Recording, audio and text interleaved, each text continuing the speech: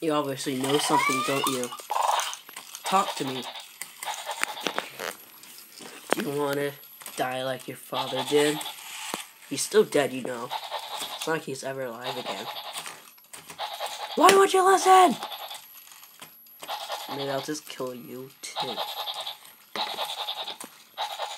But first, I'll just grab you. Good. Goodbye.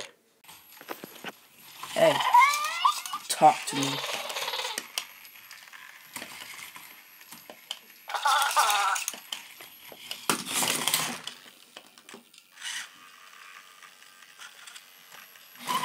Okay.